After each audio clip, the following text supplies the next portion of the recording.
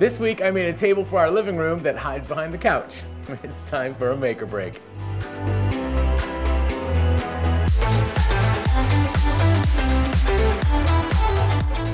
Hey guys, welcome back. I'm Rob. This week my wife asked me to make a narrow table that would live behind our couch and give us a place to sit and eat or use a laptop or whatever while we watch TV. This idea I liked. Here's how it turned out. In our living room, we have a sectional couch at an angle facing our TV in the corner. And my wife asked me to make her a table that would line the back of the couch and give us a place to sit and watch TV while working or eating. She gave me a few photos for inspiration and I headed down to the shop. I knew the top would be 14 inch deep, so I figured I could take two 1x8s and just glue them together. Easy, right? Well, the two pieces I got were naturally warped, and I remembered a Wood Whisperer article I read recently talking about fighting warp by alternating your grain. So I decided to rip each piece in half, flip them around, and glue them back together to help keep it all flat.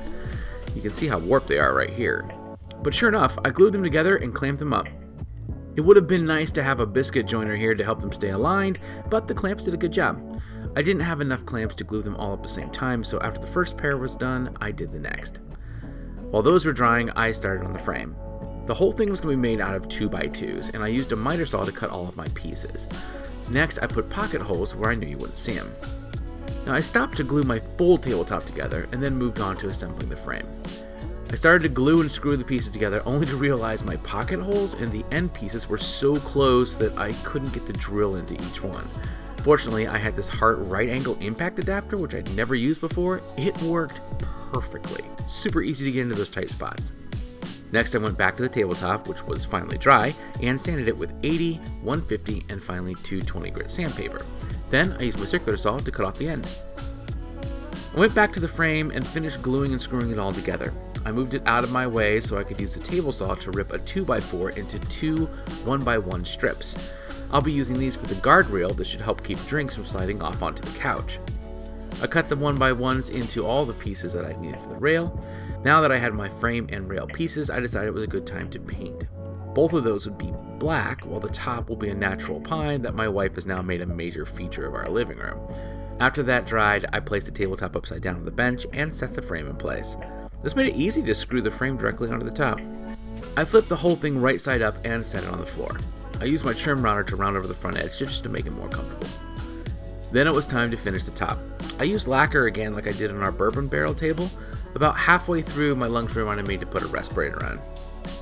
While the table dried, I turned to my railing parts, which I simply glued in place.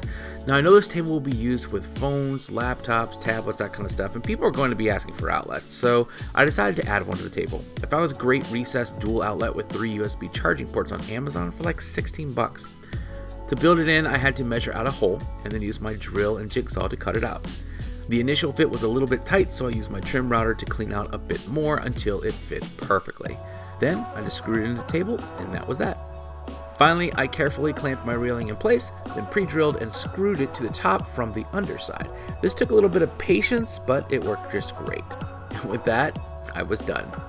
This turned out so nice, it immediately became the favorite place to sit in the living room.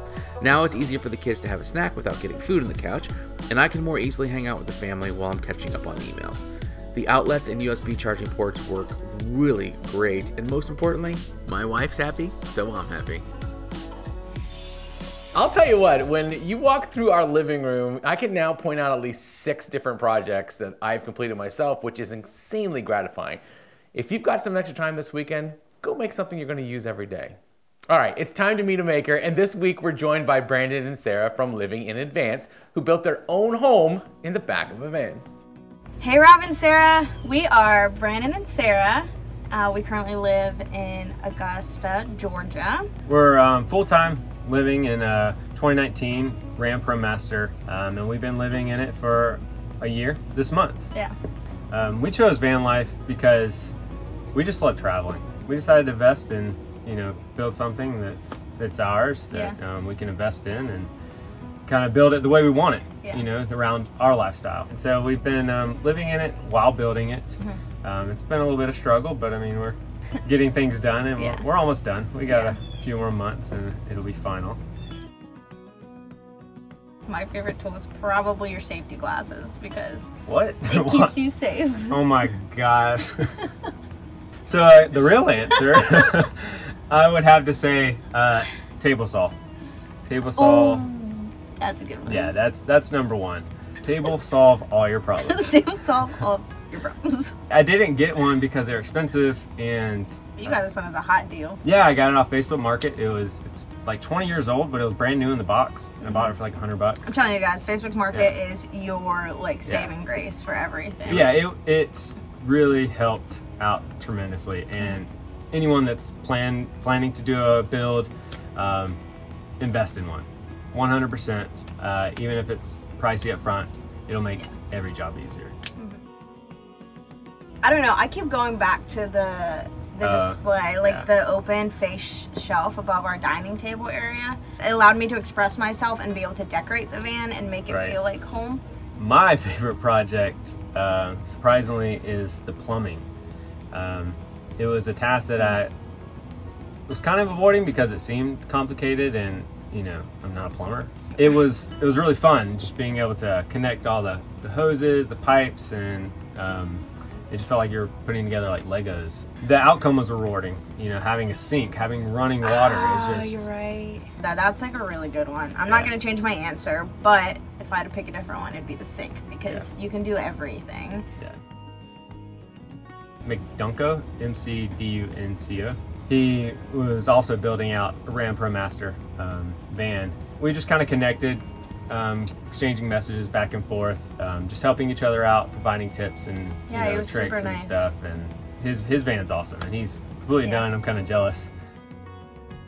Uh, stove slash oven in our kitchen. With the propane Yeah. and So we gotta plumb the propane lines and all that jazz, and it's kind of nerve wracking, but we haven't had been able to use an oven for a really long time, and we love Mm.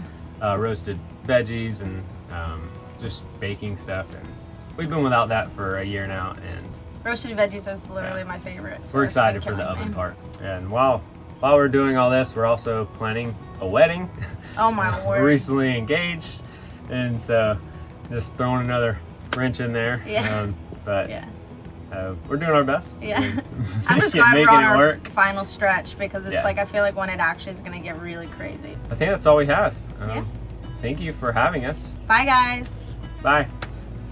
If you guys are not already subscribed to Living in Advance, you can find them at Living in Advance on Instagram. Now, before I go, I wanted to share a couple of our favorite maker videos of the week. First up, we've been following and featuring Michael Alm for a while now. His use of plywood patterns is absolutely amazing, and this week he used the feature again on these beautiful light fixtures.